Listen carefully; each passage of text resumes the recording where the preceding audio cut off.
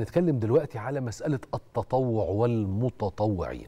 وأظنكم يعني خدتوا بالكم أنه لما كان الرئيس في آه، محافظة المنيا وافتتاح المشروعات ومبادرة حياة كريمة وما إلى ذلك شفتوا إزاي ال- ال- ال- المتطوعين كانوا بيلعبوا هناك دور مبهر.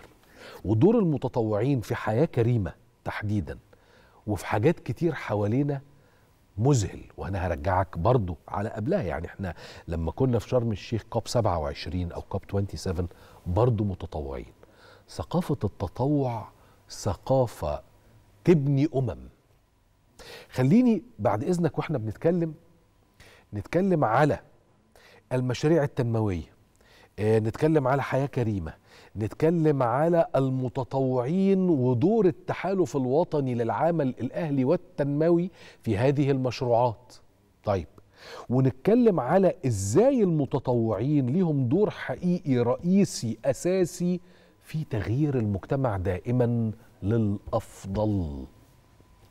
هرحب بضيفنا العزيز المهندس أحمد موسى عضو التحالف الوطني والمدير التنفيذي لمؤسسة صناع الحياة. أهلا أهلا أهلا منور. أهلا وسهلا. ازي حضرتك؟ إزيك؟ عامل إيه؟ كله تمام. كله تمام؟ كله تمام.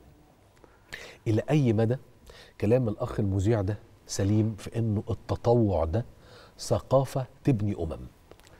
طيب آه خليني آه أقول إن إحنا يعني يمكن حضرتك جيت مع الشخص المظبوط في الموضوع ده يا بخت.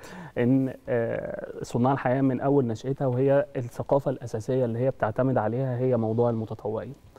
وفكرة التطوع هي الفكرة أو المحرك الرئيسي اللي بيشتغل آه عليه يمكن إحنا عمرنا يمكن 18 سنة دلوقتي. آه طول الوقت ده شغالين ال methodology أو المنهجية اللي إحنا بنشتغل عليها على الأرض خلاف جمعيات كتير إن هو المتطوع إزاي نفعله وإزاي نخلق له فرصة تطوعية إن هو يقوم بحاجات مختلفة جدا. لينا تجارب يمكن في محو الأمية اشتغلنا على 130 ألف أمي مع شركة من شركات الاتصالات الكبرى. آه، كان لينا تجربة يمكن في فيروس سي يمكن كان الرئيس عامل آه، مبادرة كبيرة جدا آه، قضينا بيها على فيروس سي.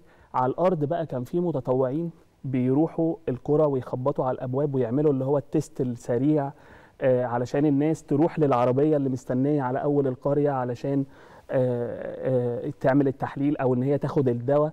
فدايما المتطوعين عندنا سياسة كبيرة جدا أو ثقافة كبيرة جدا إحنا بنشتغل بيها في الشغل بتاعنا يعني.